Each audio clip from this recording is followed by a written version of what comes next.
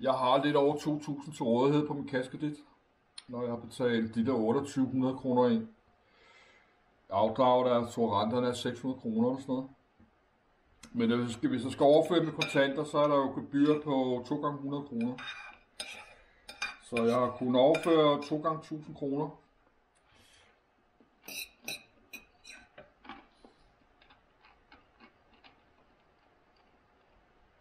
Det har jeg gjort de fleste måneder i øh, uh, 2020. Lige bortset for de måneder, hvor jeg har købt jeg har købt ekstra en harddisk eller andet der.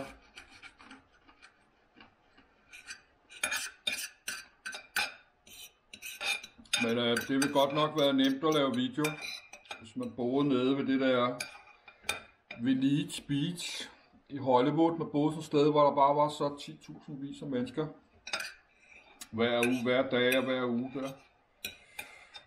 Kunne det være nemt nok. Det har bare været udenfor og sende kameraet.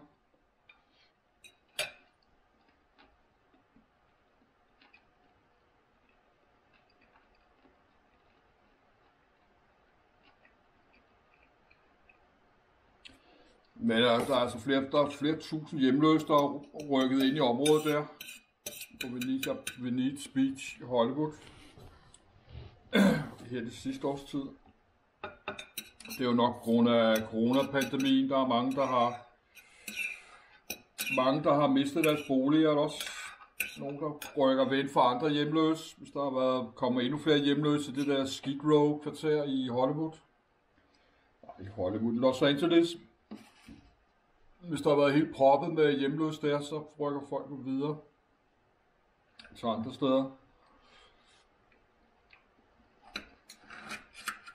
Nej, det svarer simpelthen til, hvis der er flere hundrede mennesker, der flytter til øh, Klampenborg, til øh, Bellevue Strand og bare sætter telt op hele vejen der. På Bellevue Strand og øh, op på Strandvejen og øh, sådan noget sådan noget lignende der, eller inde på Svanemøllen, øh, på den strand inde på Svanemøllen.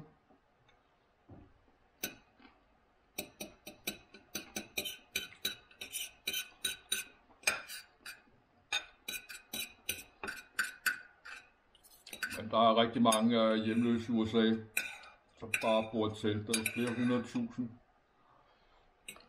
Selvom man får, øh, socialt, ligesom vores kontanthjælp, selvom man er på en eller anden form for social ydelse, så er du ikke nok til at betale en husleje.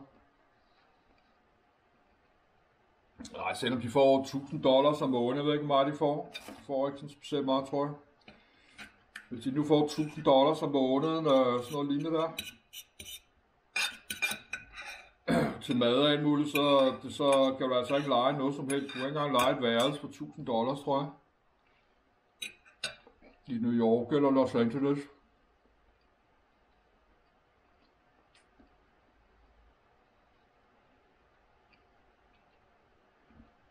Nej, hvis de får øh, lidt over 1000 dollars i øh, social ydelse, der er noget, man får slet ikke noget socialt. Der er ikke noget øh, kontanthjælp i Danmark.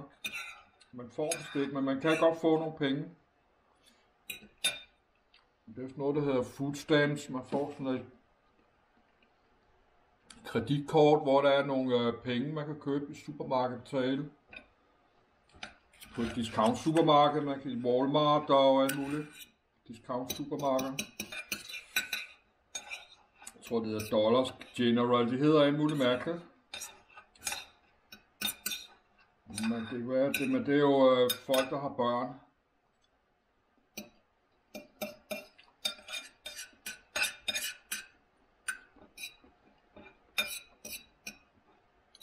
Jeg ved ikke, om enige mænd øh, som mig får kontanthjælp hvis de ikke har noget arbejde, det er ikke sikkert.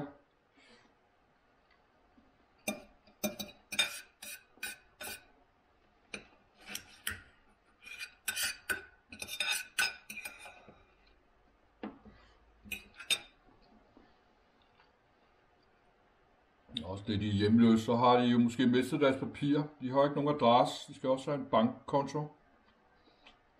Postadresse og sådan noget. Det har man jo altså ikke, når man er hjemløs.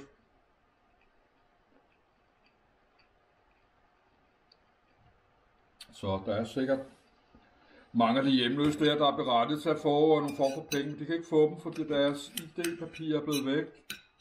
Og de har ikke nogen adresse selvfølgelig, og de har ikke noget postadresse. Så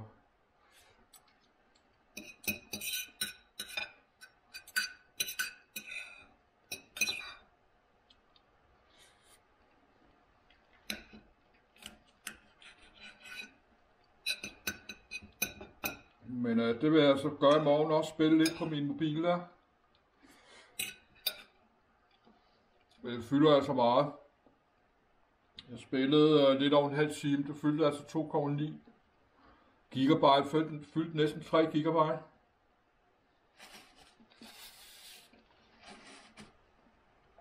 Så det kan jeg altså ikke bare optage for sjov skyld.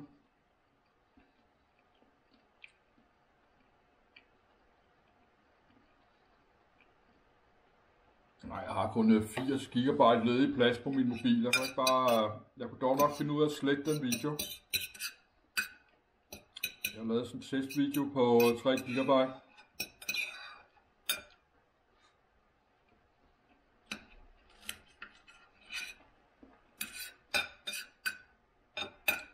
Men øh, det vil nok også blive lidt øh, kedelig game video. Spille øh, nogle mærkelige tilfældige mobilspil, og så lægge det ud på YouTube.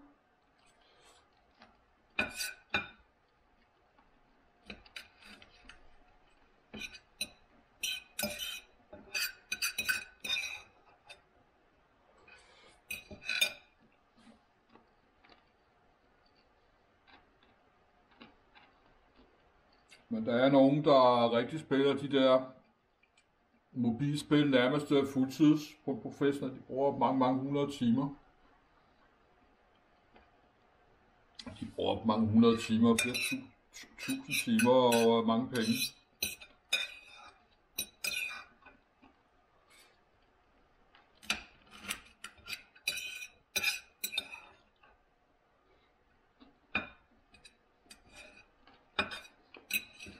Nej, det er de der online uh, multi-user mobilspil, hvor man har et andet by eller et andet man her. skal opbygge et eller andet med ressourcer. De skal næsten være der online hele tiden.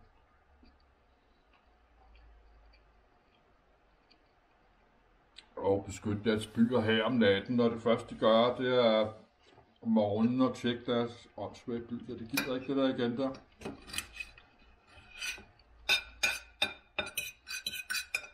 Nej, jeg gider ikke spille sådan nogle øh, uh, bilspil. Man skal ind og tjekke det flere gange hver dag.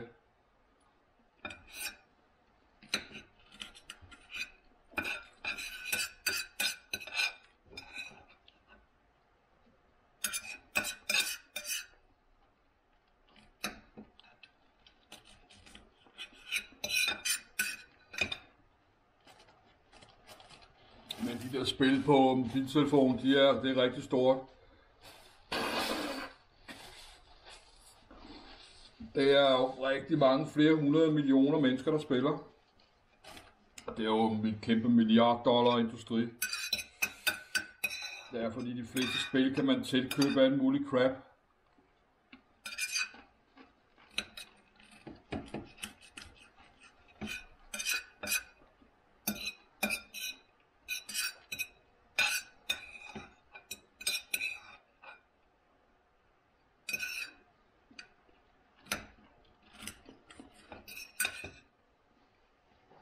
Det er fint. Man kan købe Lidl for, det koster 30 kroner et halvt år siden. Det skal bare være øh,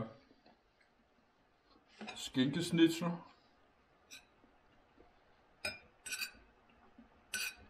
Sådan en øh, paneret skinkesnitzel.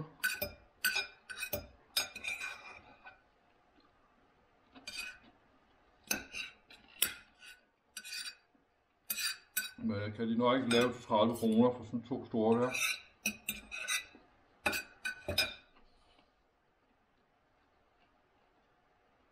Men ellers vil jeg bare hoppe i seng nu. Så vil jeg stå op i morgen og starte forfra. Nærmere os stille og roligt øh, foråret, og øh, det bliver varmere hver dag nu. Sneen og isen forsvinder, det er rigtig godt, det er jeg rigtig glad for. Jeg er rigtig træt af kulde. Jeg har slet, jeg har slet ikke været ude, for jeg gider slet ikke gå ud, når jeg det der 20 grader frost der. 10 grader frost, jeg har slet ikke gider at gå ud.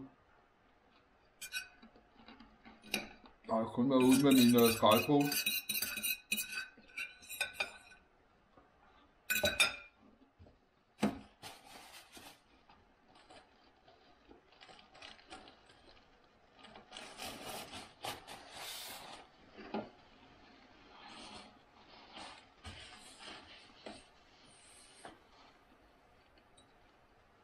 Men uh, sådan er det også som YouTuber. Man skal være heldig at starte uh, på YouTube. Et godt sted i livet også, hvor man bor et sted, hvor der er masser spændende optag.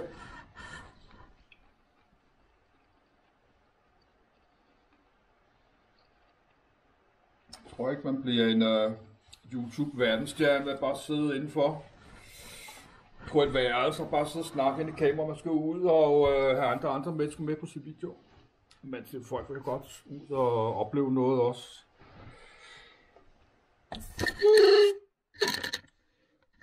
Yes, 20 minutter over 8. Yes, go. Det smagte fint. Jeg er 20 minutter over 8. Skal vi bare stoppe videoen, yes. Giv han fortsat god uge og så godt. Godt.